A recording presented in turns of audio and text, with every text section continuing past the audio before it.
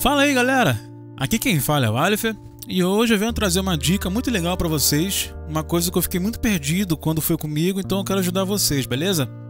Eu vou trazer umas dicas aqui de qual controle você pode ou não usar, dependendo do custo versus benefício.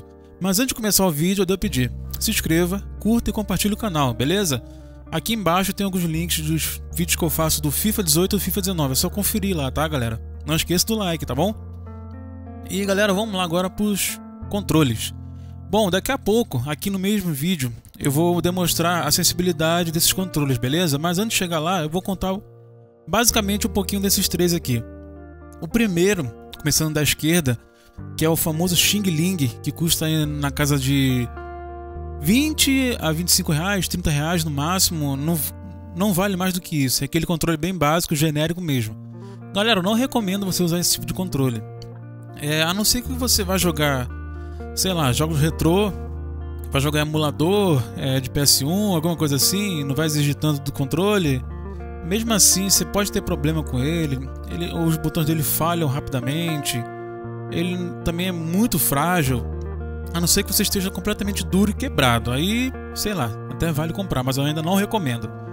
E galera, o do meio é, já é um controle um pouquinho mais caro, mas a diferença é que ele consegue ser bem melhor do que o Xing Ling, cara. Os botões são mais duráveis, é... ele tem uma sensibilidade um pouco melhor. Até na pegada dele também é parecida com o Xbox é, 360. E a diferença também, galera, é que você pluga ele no seu computador e automaticamente ele já reconhece como controle de Xbox 360. Você joga qualquer jogo e ele consegue trocar de modos. Você pode jogar no Android, é, você pode jogar outro tipo de modo, enfim.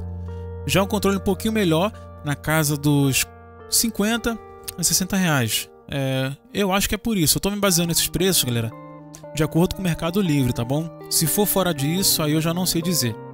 Eu tô me baseando no Mercado Livre, beleza? E galera, o terceiro controle já é um controle original do Xbox One. É, custou na faixa dos 220 reais quando eu comprei. Comprei também pelo Mercado Livre, tá, galera? Esse controle é para se você realmente tiver um dinheiro sobrando é, você está querendo jogar jogos competitivos, é uma coisa mais profissional, uma coisa que você não quer ter nenhum problema, aí sim você pega esse controle. Mas ele não é nem um pouco em conta na questão de preço, porque ele é realmente caro, tá, galera? É um controle muito caro e só pode comprar mesmo quem tem uma condição um pouquinho melhor ou está querendo investir em alguma coisa ou até mesmo no seu lazer, que também já vale muito em conta, né? E galera, eu vou deixar um controle extra aqui. Eu não tenho ele, não tenho como testar, tá? Mas eu vou deixar ele aqui para vocês, uma opção. É o controle da Red Dragon, um Saturn. Bom, galera, esse controle eu quase comprei ele antes de comprar o do Xbox One, quase mesmo, foi por pouco. Mas eu desisti justamente por causa do cabo. É, esse cabo é muito parecido com aquele do controle Xing Ling, só que um pouquinho melhor. O jeito que ele é feito, essa emborrachada que ele tem, para mim não é muito legal. E também o formato do controle, que lembra muito o PS4, eu não achei tão interessante assim. Mas é um ótimo controle, tá, galera? Tô falando isso, mas ele é realmente um controle muito legal. É um pouquinho melhor do que aquele de 60 reais que vocês viram antes. O preço dele varia entre 110 reais a 120, 130, por aí, tá? Já um preço um pouco melhor, já é um controle mais acima do mediano. Não chega a ser aquele profissional, mas chega a ser acima do mediano. E galera, vamos lá para os testes. Bom, galera, tá aqui os testes. Eu vou usar um site aqui que mostra detalhadamente as funções do controle. E aqui você já começa a ver o problema, olha só. Eu tô apertando o D-pad e tá aparecendo lá como analógico. Os analógicos aqui não funcionam. Porque é um Xing Ling, né, galera? É complicado. E para fazer ele funcionar de forma perfeita, eu uso um programinha. Usava, né? Tá aqui, galera. Vou mostrar aqui você rapidamente. Que é esse programa aqui, é Better DS3. Ele, ele faz o Xing Ling emular um controle de Xbox 360, o que já melhora muito facilita muito para jogar qualquer tipo de jogo, tá, galera? Olha só, aqui eu já estou testando já a acessibilidade. Olha só como é que é estranho, galera.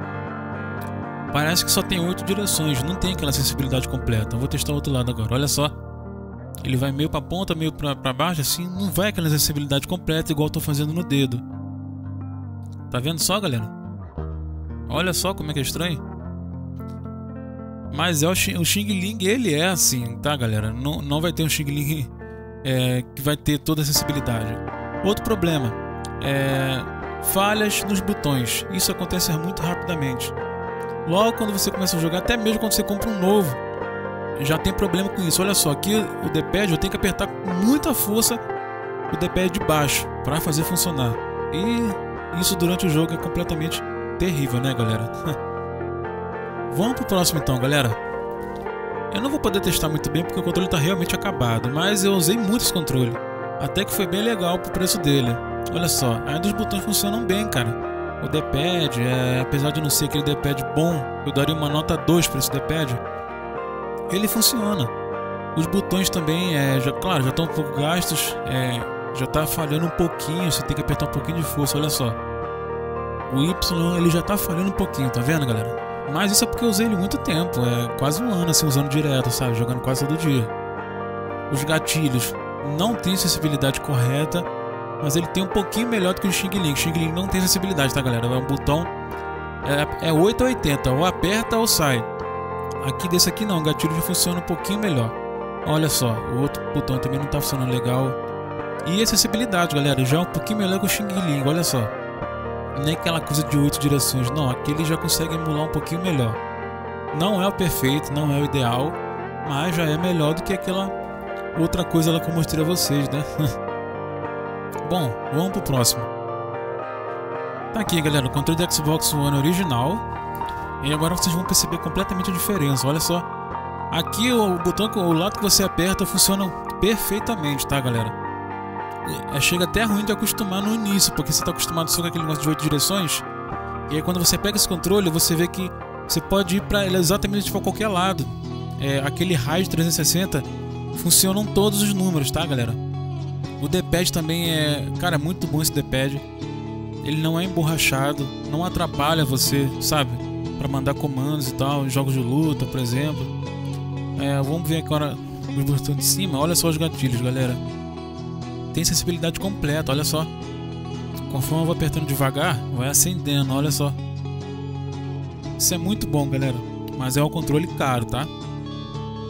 E galera, para terminar o vídeo, é, resolução final de tudo isso é só para mostrar vocês mesmo, tá? O que, que vocês podem ou não fazer. Só uma ideia, só para ter uma noção mesmo.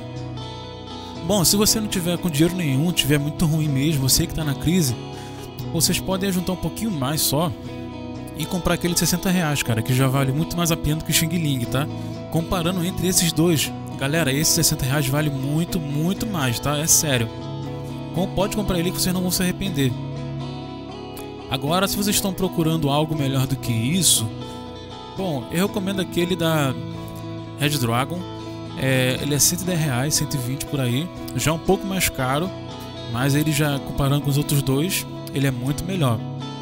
E claro, tá querendo investir mesmo pesado nisso, galera, controle do Xbox One. Não, vai, não existe melhor controle no mercado, tá? Até melhor do que o do PS4. A acessibilidade dele é melhor, por incrível que pareça.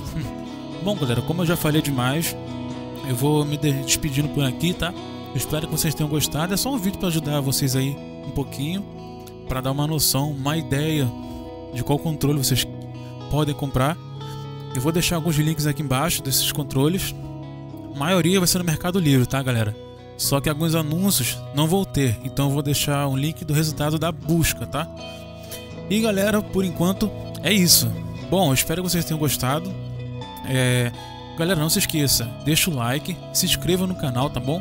E compartilhe com a galera aí o vídeo, beleza? E então, galera, por enquanto é isso. Até a próxima e valeu!